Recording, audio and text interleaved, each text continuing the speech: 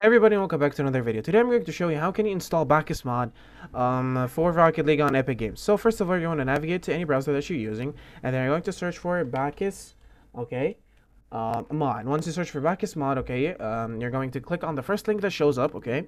Then once you click on Bakkesmod, you're going to go onto something all the way down up here until this uh, this thing. You're going to hover over it, and you're going to find something called Download Bakkesmod.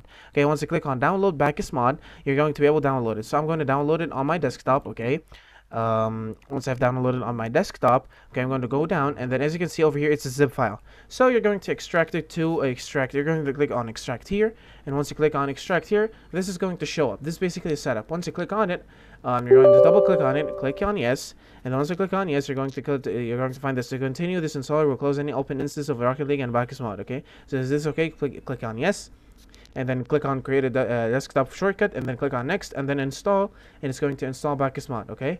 Now uh, I have um, Bakkesmod installed so basically I'm going to click on no because I just have it. But uh, this message is not going to appear for you when you first time install it. You're going to appear only um, uh, you you download it and uh, thanks for downloading Bakkesmod.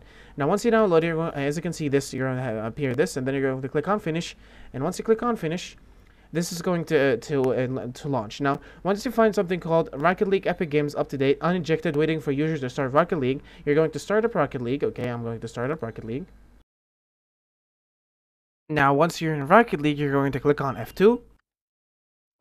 Okay, once you click on F2, as you can see, you can find all Bakkesmod is working like now, and you can find all the thing, all the things you can actually um uh, mess up with. Okay, so yeah, there you can actually change your items, you can change your boost, your decals, all the things you would like uh, in the whole world, and yeah. Uh, that was it for now, guys. Uh, that's basically how you can install Bakkesmod. Thank you so much for watching. Don't forget to like and subscribe, and I'll see you later.